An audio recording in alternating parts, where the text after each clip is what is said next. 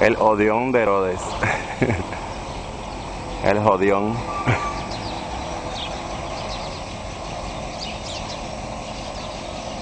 Es tan temprano que está cerrado. Ahí arriba el Partenón.